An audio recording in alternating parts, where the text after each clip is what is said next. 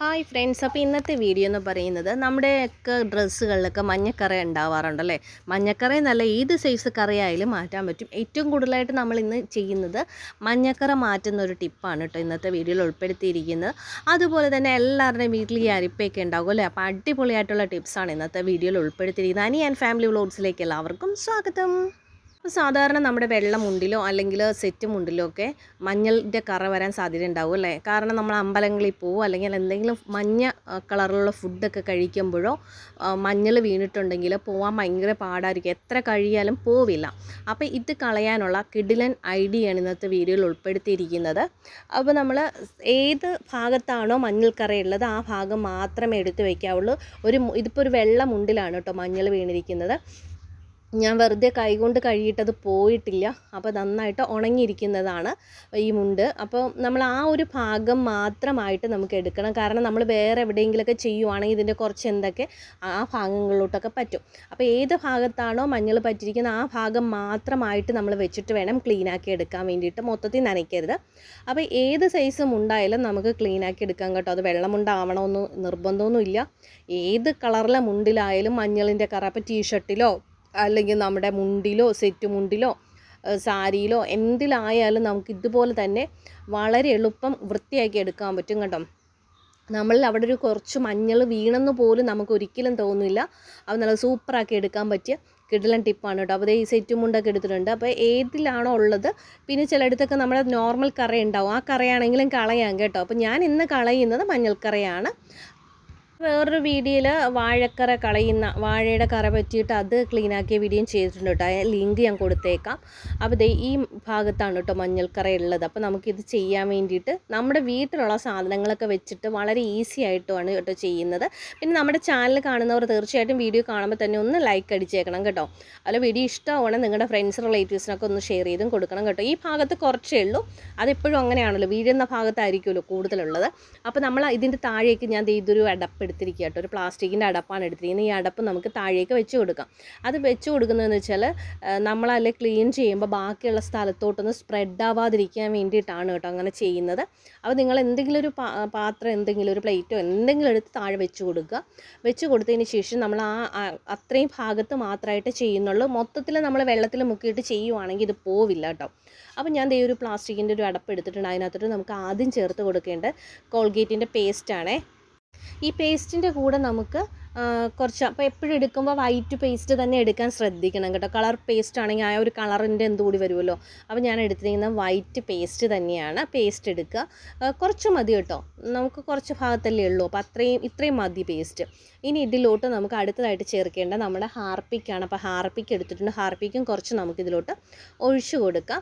അതിൽ വേറെ വെള്ളമോ വേറെ ഒന്നും മിക്സ് ആക്കുന്നില്ല കേട്ടോ. അപ്പോൾ ആവശ്യത്തിനുള്ള ഹാർപ്പിക്കും കൂടെ ഒഴിച്ചു കൊടുത്തിട്ടുണ്ട്. അപ്പോൾ നിങ്ങളുടേത് കറയുടെ അളവ് എങ്ങനെയാണോ മഞ്ഞൾക്കറ കൂടുതലായിട്ടുണ്ടെങ്കിൽ കൂടുതലായിട്ട് ചേർത്ത് കൊടുക്കുക അപ്പോൾ ഞാൻ ഇത് ഇത്രയും ചേർത്ത് കൊടുത്തിട്ടുണ്ട് കേട്ടോ. ഇനി നമുക്ക് ഇതിലോട്ട് വേണ്ടത് ഒരു തക്കാളിയാണ്. ഒരു പകുതി തക്കാളി മതി കേട്ടോ. അപ്പോൾ നമുക്ക് ഈ തക്കാളി രണ്ടായിട്ടൊന്ന് മുറിച്ചെടുക്കാം. അപ്പോൾ തക്കാളിയും ഈ ഈ മൂന്ന് ഐറ്റം ചേർത്തിട്ടാണ് നമ്മൾ ഈ മഞ്ഞൾക്കറ കളയാൻ പോകുന്നത്. അപ്പോൾ രണ്ട് രണ്ടായിട്ട് മുറിച്ചെടുക്കുക. മുറിച്ചിട്ട് അത്യാവശ്യം നീരുള്ള തക്കാളിയാണ് കേട്ടോ ഇത്. നമ്മുടെ നാടൻ തക്കാളിയാണ്. അപ്പോൾ നമ്മൾ ഇതൊന്ന് മിക്സാക്കി കൊടുക്കുകയാണ് കേട്ടോ. പേസ്റ്റും ഹാർപ്പിക്കും ഈ തക്കാളിയുടെ ആ നീരും ആ ജ്യൂസൊക്കെ കൂടി ഇതിനകത്ത് വീഴുമല്ലോ. അങ്ങനെയാണ് മെൽറ്റാക്കി എടുക്കുന്നത്. ഈ പരുവത്തിൽ ഞാൻ എടുത്തിട്ടുണ്ട്. ഇനി നമുക്ക് ചെയ്യേണ്ടത് എന്താണെന്ന് വെച്ചാൽ നമ്മുടെ ഇതിവിടെ വെച്ചിരിക്കുകയാണ് കേട്ടോ. നമ്മൾ ഈ മഞ്ഞൾക്കറയുള്ള ഭാഗത്തേക്ക് ഞാൻ വെള്ളമാണ് കേട്ടോ ഒന്ന് ബ്രഷിൽ തേച്ച് കൊടുക്കുവാണ്. വെള്ളം ഇങ്ങനെ ഒന്ന് സ്പ്രെഡാക്കി കൊടുക്കുക. അപ്പോൾ അത്രയും ഭാഗത്ത് ഒരു നനവ് കിട്ടാൻ വേണ്ടിയിട്ടാണ് കേട്ടോ ചെയ്തത്. ഇനി നമുക്കിതിലോട്ട് നമ്മൾ ഈ ഉണ്ടാക്കി വെച്ചിരിക്കുന്ന ഹാർപ്പിക്കും പേസ്റ്റും അതുപോലെ തക്കാളിയും കൂടി ചേർത്തിട്ടുള്ള ആ ഒരു മിക്സ് ചെയ്ത് കണ്ടോ? ഇങ്ങനെ തക്കാളി വെച്ചിട്ട് തന്നെയാട്ടോ നമ്മൾ ഉരച്ച് കൊടുക്കുന്നത്. അപ്പോൾ തക്കാളി വെച്ച് ഇങ്ങനെ ഉരയ്ക്കുമ്പോൾ ഇതിനകത്ത് അതിന്റെ അരിയും ജ്യൂസും ഒക്കെ ഇതിനകത്ത് ആവുന്നുണ്ട് കേട്ടോ. അത് കുഴപ്പമൊന്നുമില്ല. പിന്നെ നിങ്ങളിങ്ങനെ ചെയ്തതിന് ശേഷം കുറച്ച് സമയം തേച്ച് പിടിപ്പിച്ചിട്ട് കുറച്ച് സമയം ഇങ്ങനെ തന്നെ വെക്കണം. കാരണം കുറച്ച് സമയം ഇങ്ങനെ ഇരിക്കുമ്പോൾ ഇത് നന്നായിട്ട് ഇതിലോട്ട് അബ്സോർവ് ചെയ്യുമ്പോൾ നന്നായിട്ട് പോയി കിട്ടും കേട്ടോ. അപ്പോൾ ഞാനിത് ഇങ്ങനെ തന്നെ തേച്ച് നല്ലപോലെ അതിനകത്തുള്ളത് ഫുള്ളായിട്ട് വടിച്ച് തേക്കുന്നുണ്ട്. നിങ്ങൾക്ക് പോരാ എന്ന് തോന്നുവാണെങ്കിൽ ഇതുപോലെ തന്നെ മിക്സ് ആയി ഡയറക്റ്റ് ഇതിലോട്ട് ഇട്ട് കൊടുക്കരുത് കേട്ടോ. അപ്പോൾ ഞാൻ ഇത് ഇങ്ങനെ കുറച്ച് സമയം വെച്ചിട്ടുണ്ടേ. അത് ശരിക്കും തുണിയിലേക്ക് ഒന്ന് പിടിച്ച് വന്നതിന് ശേഷം നമുക്ക് നന്നായിട്ടൊന്ന് സ്ക്രബ് ചെയ്ത് കൊടുക്കണം. എന്ന് വെച്ചാൽ ഈ തക്കാളി വെച്ചിട്ട് തന്നെയാട്ടോ ഞാൻ ഉരച്ച് കൊടുക്കുന്നത്.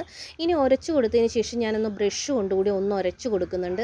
എന്താണെന്ന് വെച്ചാൽ എവിടെയെങ്കിലുമൊക്കെ പേസ്റ്റിന്റെ എന്തൊക്കെ ഉണങ്ങിയിരിക്കുന്നുണ്ടെങ്കിലോ എന്ന് ഓർത്തിട്ടാണ് കേട്ടോ. അപ്പോൾ നന്നായിട്ടൊന്നുകൂടി തേച്ച് കൊടുക്കുന്നുണ്ട് കേട്ടോ. കുറച്ച് വലിഞ്ഞിട്ടുണ്ട് കേട്ടോ. കുറച്ച് നേരം ഞാൻ വെച്ചിരുന്നു. ഇനി നമുക്ക് ചെയ്യേണ്ടത് ഞാനൊരു പാത്രം ഒരു പ്ലേറ്റ് എടുത്തിട്ടുണ്ട്. പ്ലേറ്റ് എടുത്ത് നമുക്ക് ഇതിന്റെ അടിയിലോട്ട് വയ്ക്കാം കാരണം നമ്മളിത് വാഷ് ചെയ്യുമ്പോൾ ടേബിളിലൊക്കെ വെള്ളം ആവാതിരിക്കാൻ പിന്നെ നിങ്ങൾക്ക് ലൈവായിട്ട് അതിന്റെ റിസൾട്ട് കാണിക്കാനും വേണ്ടിയിട്ടാണ് കേട്ടോ ഞാൻ ഇങ്ങനെ തന്നെ ചെയ്യുന്നത്. ദേ കണ്ടോ പച്ച വെള്ളമാണ് കേട്ടോ ഒഴിച്ചു കൊടുക്കുന്നത്. വെറുതെ വെള്ളം ഒഴിച്ച് പിന്നെ ഇത് നന്നായിട്ടൊന്ന് കൈകൊണ്ട് തന്നെ തേച്ച് കളയണം. കാരണം പേസ്റ്റിന്റെ എന്തും ഇതൊക്കെ ഒന്ന് ചെറുതായിട്ട് ഉണങ്ങിയിരിപ്പുണ്ട് കേട്ടോ. അപ്പോൾ ഹാർപ്പിക്കും ഇതൊക്കെ ആയിട്ട് ഉണങ്ങിയിരിക്കുന്നത് കൊണ്ടാണ് കേട്ടോ നന്നായിട്ട് പോയിട്ടുണ്ട് കേട്ടോ ശരിക്കും പോയിട്ടുണ്ട്. അത് നല്ല രീതിയിൽ പോയിട്ടുണ്ട്. അപ്പോൾ നിങ്ങൾ തീർച്ചയായിട്ടും ഇങ്ങനെ ചെയ്യുക. പിന്നെ ചെയ്യുമ്പോൾ നിങ്ങൾ കുറച്ച് കൂടുതൽ സമയം വെക്കണം കേട്ടോ. കുറച്ച് പഴയ കറയാണെങ്കിൽ ഇപ്പോൾ കുറേ ദിവസമായ കറിയൊക്കെ കുറച്ച് കൂടുതൽ ദിവസം വയ്ക്കും കൂടുതൽ ദിവസമല്ല കുറച്ച് കൂടുതൽ ദിവസം ആയതാണെങ്കിൽ തീർച്ചയായിട്ടും നിങ്ങൾ ഇപ്പോൾ ഇന്ന് ചെയ്തിട്ട് രാവിലെ ചെയ്തിട്ട് വൈകിട്ടായാലും നന്നായിട്ട് തേച്ച് ക്ലീനാക്കി കൊടുത്താൽ മതി കേട്ടോ. പിന്നെ ചെയ്യുമ്പോൾ ഞാൻ പറഞ്ഞതുപോലെ എല്ലാ ഭാഗത്തേക്കും ആക്കാതെ ആ ഒരു കറക്റ്റ് ഭാഗത്ത് മാത്രം ചെയ്ത് കൊടുക്കുവാണെങ്കിൽ കറക്റ്റായിട്ട് നമ്മുടെ കറ പോയി കിട്ടും കേട്ടോ. അപ്പോൾ ഞാൻ ഇതുപോലെയാണ് എപ്പോഴും ചെയ്ത് എടുക്കുന്നത്. അപ്പോൾ നമ്മുടെ മുണ്ട് സൂപ്പറായി ഈ മുണ്ട് കളയാമെന്നും പറഞ്ഞ് വെച്ചിരുന്ന മുണ്ടാട്ടോ എന്തായാലും നല്ല അടിപൊളിയായിട്ട് കിട്ടിയിട്ടുണ്ട്. അപ്പോൾ നിങ്ങൾക്ക് ഈ വീഡിയോ ഇഷ്ടമാവുകയാണെങ്കിൽ തീർച്ചയായിട്ടും നിങ്ങളുടെ ഫ്രണ്ട്സിനും റിലേറ്റീവ്സിനൊക്കെ ഷെയർ ചെയ്ത് കൊടുക്കണം കേട്ടോ. ഉറപ്പായിട്ട് ഷെയർ ചെയ്ത് കൊടുക്കണം. ഇതെല്ലാവർക്കും യൂസ്ഫുൾ ആയിട്ടുള്ള ഒരു സംഭവമാണേ. അപ്പോൾ നല്ല അടിപൊളിയായിട്ട് പോയിട്ടുണ്ട് ഇനി നമ്മൾ സാധാരണ മുണ്ട് വാഷ് ചെയ്യുന്നത് പോലെ വെള്ളത്തിൽ വെച്ചിട്ട് മൊത്തത്തിൽ അങ്ങ് വാഷ് ചെയ്തിട്ടിടുക. ഈ ഭാഗത്തൊരു ചുളുക്കലുണ്ടാവും. അതൊന്ന് നയഞ്ചിരെടുത്താൽ മതി കേട്ടോ.